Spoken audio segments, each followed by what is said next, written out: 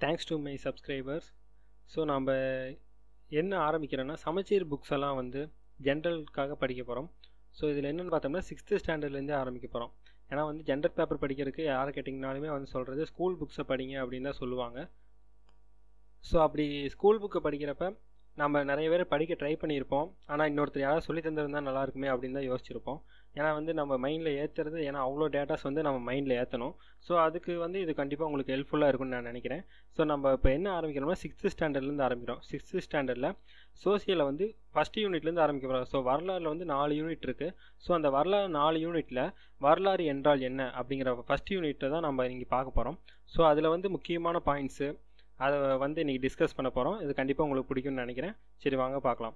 So first வந்து இதில் பார்த்தோன்னா முன்னாடி இந்த ரெண்டு பேரை கதை தான் இருக்கும். ஸோ அந்த கதை போக தகவல் பேழைங்கிற டாபிக் ரொம்ப முக்கியம். ஸோ தகவல் பேழைனா என்னென்னா இதில் என்ன கொடுத்துருக்காங்கன்னா வரலாற்றில் காலம் அப்படிங்கிறதான் கொடுத்துருக்காங்க. ஸோ வரலாற்றில் காலம் அப்படிங்கிறத அவங்க எதை மென்ஷன் பண்ணுறாங்கன்னா ஸோ நம்ம ஆண்டை வந்து எப்படி மார்க் பண்ணணும் அப்படிங்கிற ஒரு காலக்கோடு மாதிரி போட்டிருக்காங்க. ஸோ நம்ம இப்போ இருக்கிறது ரெண்டாயிரத்தி இருபத்தி ஒன்று ஸோ ரெண்டாயிரத்தி இருபத்தி ஒன்றுங்கிறப்ப இந்த ரெண்டாயிரத்துக்கும் ரெண்டாயிரத்தி ஐநூறுக்கும் இடையில இருப்போம்.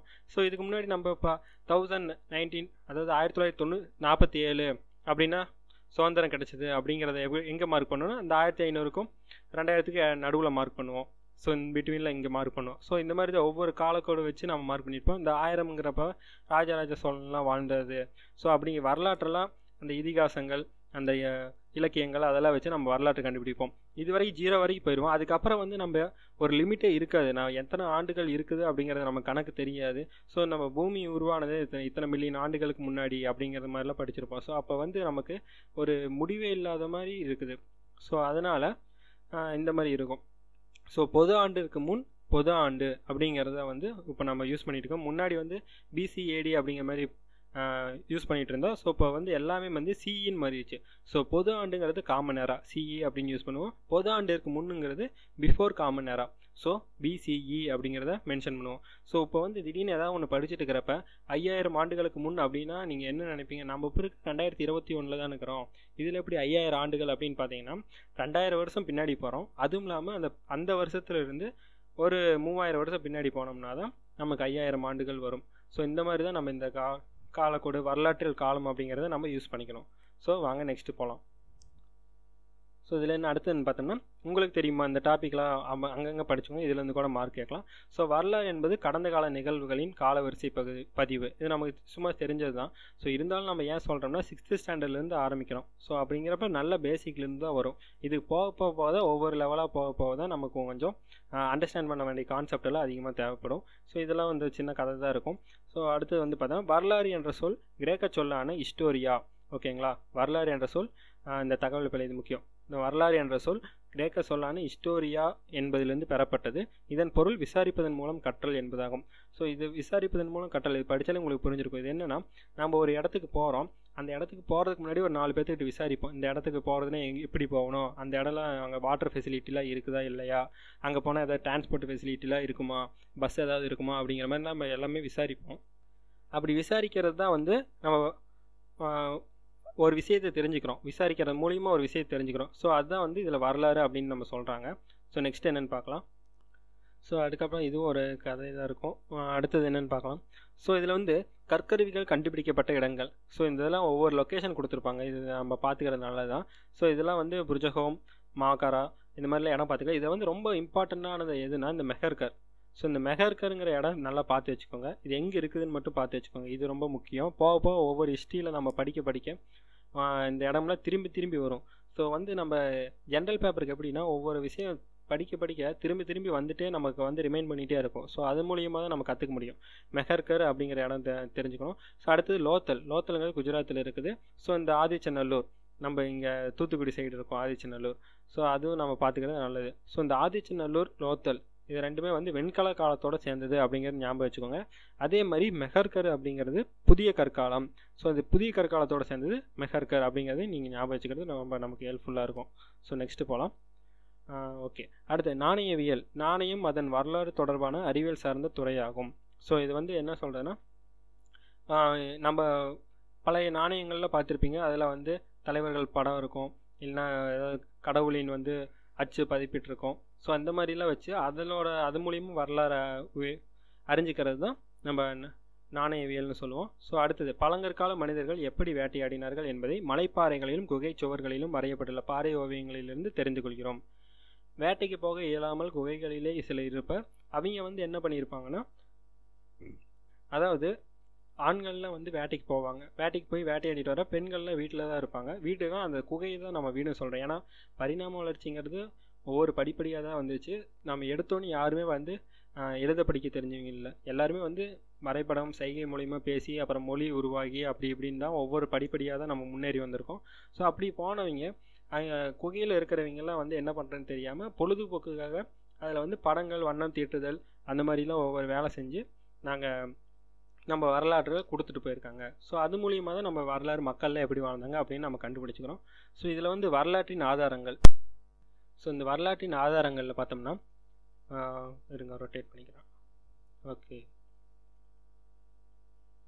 ஸோ இதில் பார்த்தோம்னா தொல்பொருள் ஆதாரங்கள்லாம் இருக்கும். இது பானை பொம்மைகள் இதெல்லாம் உங்களுக்கு ஈஸியாக தெரிஞ்சிடும் கோயில் சுவர் கவ கல்வெட்டுகள் உலோகத்தூண் இது மாதிரிலாம் சும்மா தெரிஞ்சுக்கிங்க ஸோ அடுத்தது இந்த அரண்மனைகள் கோட்டை கோயில்களில் தஞ்சாவூர் இந்த மாதிரி ஸ்தூபி சாஞ்சி ஸ்தூபி இது ரொம்ப முக்கியம்.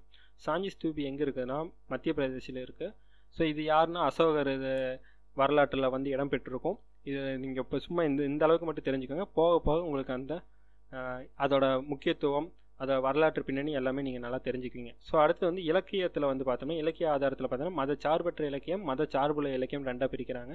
மத சார்பற்ற இலக்கியம்னா என்ன சொல்கிறேன்னா திருக்குறள் இந்த வெளிநாட்டு பயணக்குறிப்பு இதிகாச பாடல்கள் நாட்டுப்புற கதை பாடல்கள்லாம் வந்து மத சார்பற்ற இலக்கியம் அப்படின்னு நம்ம சொல்கிறோம் ஸோ இது வந்து இது எப்படி மதச்சார்பற்ற இலக்கியம்னு சொல்கிறாங்கன்னா எல்லா மதத்திற்குமே பொருந்தும். ஏன்னா திருக்குறள் திருவள்ளுவர் சொன்னார் சொன்னது வந்து பார்த்தோம்னா எல்லா மதத்திற்குமே பொருந்தும். அதனால தான் அது வந்து மதச்சார்பற்ற இலக்கியம் அப்படின்னு சொல்கிறோம் மதச்சார்புள்ள இ- இலக்கியம்னா ஒரு கடவுளை கடவுளை எண்ணி அவரை பற்றி பாடக்கூடியது அவர் சம்மந்தப்பட்ட பாடல்கள் வரக்கூடியது எல்லாமே வந்து நம்ம மதச்சார்புள்ள இலக்கியம் அப்படின்னு சொல்லுவோம். இந்த இதிகாசங்களில் ராமாயணம் மகாபாரதம் மணிமேகலை அதே மாதிரி பக்தி இலக்கியங்களை தேவாரம் நாலாயிரம் திவ்ய பிரபந்தம் திருவாசகம் இது மாதிரிலாம் அறுபத்தி மூணு நாயன்மார்கள் எழுதினது பன்னிரு திருமுறைகள் அந்த மாதிரிலாம் நிறையா நீங்கள் படிக்க வேண்டியது வரும். ஸோ அதெல்லாம் வந்து இந்த வரலாற்றின் ஆதாரங்களில் நம்ம பார்ப்போம். ஸோ அடுத்தது போகலாம் ஒரே நிமிஷம்.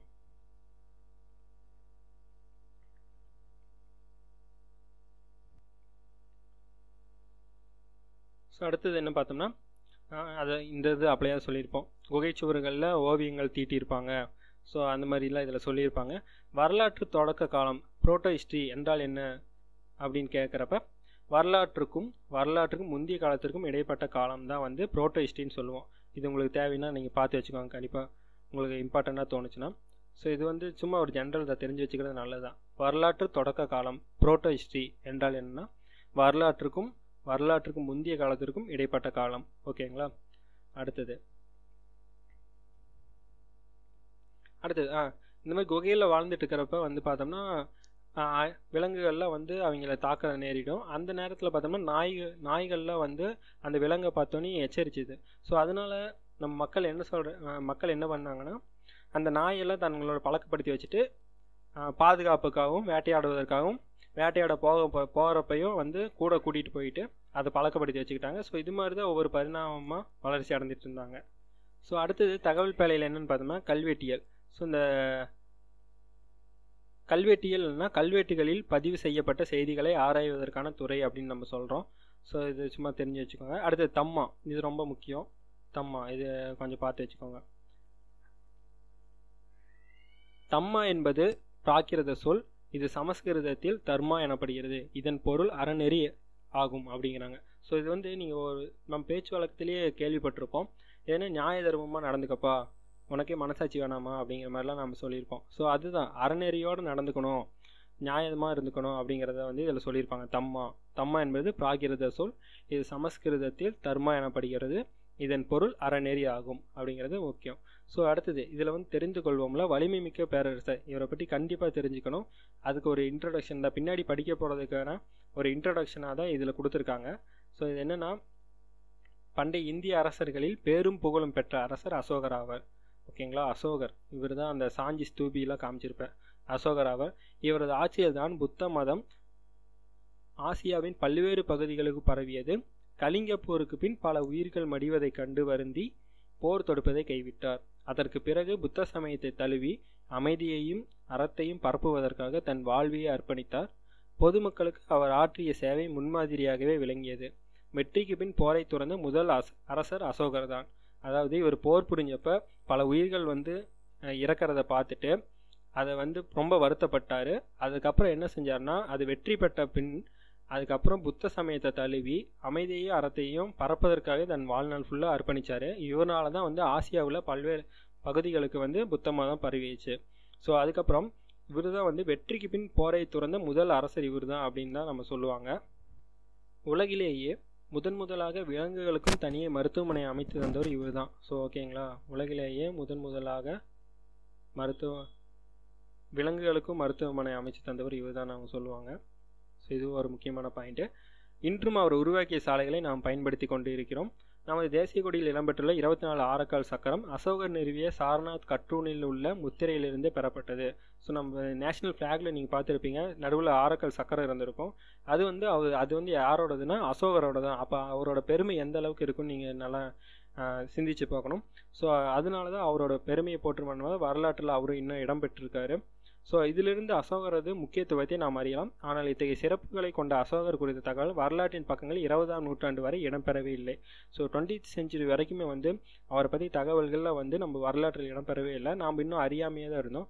அதுக்கப்புறம் என்ன ஆச்சுன்னா ஆங்கிலேய வரலாற்று ஆய்வாளர்களான வில்லியம் ஜோன்ஸ் அதான் William Jones James Prinsep Alexander Cunningham போன்றவர்கள் வரலாற்று ஆய்வுகள் மூலம் கண்டுபிடித்த வரலாற்று சான்றுகள் தான் மாமன்னர் அசோகரின் சிறப்புகளை வெளி உலகுக்கு கொண்டு வந்தன. ஓகேங்களா? அடுத்து இதன் அடிப்படையில் சார்லஸ் ஆலன் என்னும் ஆங்கில எழுத்தாளர் அசோகர் குறித்த அனைத்து வரலாற்று ஆவணங்களையும் சேகரித்து தொகுத்து நூலாக வெளியிட்டார். அந்த நூலின் பெயர் the search for the India's lost emperor அப்படிங்கிறது அந்த நூல். ஸோ சார்லஸ் ஆலன் தான் வந்து ஆங்கில எழுத்தாளர். அசோக் குறித்த தகவல்களை சொன்னார் அப்படிங்கிறது. இவர் சார்லஸ் ஆலனும் ரொம்ப முக்கியம்.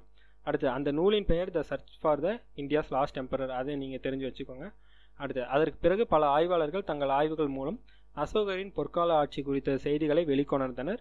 இதற்கான சான்றுகள் சாஞ்சி ஸ்தூபியிலும் சாரநாத் கட்டுனிலும் காணப்படுகின்றன. இவர் இவை அசோகரின் பெருமையை நமக்கு எடுத்து சொல்லுகின்றன. ஸோ இதான் சாஞ்சி ஸ்தூபி எங்கே இருக்குன்னு சொன்னால் மத்திய பிரதேசத்தில் இருக்குது. ஸோ அடுத்தது இது பார்த்தீங்கன்னா சாரநாத் தூண். சாரநாத் தூண் எங்கே இருக்குதுன்னு பார்த்தீங்கன்னா சாரநாத்தில் இருக்குது நியர்பை வாரணாசி. அங்கே தான் இருக்குது ஸோ இதனால் நம்ம பார்த்துருப்போம் தலைமைச் செயலகத்திலாம் இந்த சிம்பிள் தான் நம்ம யூஸ் பண்ணிகிட்டு இருப்போம் ஸோ அதோட பெருமை எவ்வளோ தூரம் நிற்கிதுன்னு நீங்களும் பார்த்துக்கோங்க ஸோ அடுத்தது இதன் மூலம் வரலாற்று ஆராய்ச்சிகள் எவ்வளோ முக்கியம் அப்படிங்கிறது பார்த்துருப்போம் ஸோ இதுலேருந்து தான் ஹிஸ்ட்ரிங்கிறது என்ன அப்படிங்கிறது ஒரு இன்ட்ரோடக்ஷன் மாதிரி பார்த்துருப்போம் இதில் மேல்பார்வையினா வரலாற்றுக்கு முந்தைய கால மக்களின் வாழ்வியலை கருக்கருவிகள் பாறை ஓவியங்கள் புதைப்படிமங்கள் மற்றும் அகலாய்வு பொருட்கள் மூலம் அறிந்து கொள்ளலாம். வரலாற்றுக்கு முந்தைய காலத்துக்கும் வரலாற்றுக்கும் இடைப்பட்டது தொடக்க கால வரலாறு எனப்படும். இதை ப்ரோட்டோடைப் ஹிஸ்ட்ரி அந்த மாதிரி பார்த்தோம். ப்ரோட்டோ ஹிஸ்ட்ரி அப்படின்னு பார்த்தா தொடக்க கால வரலாறு.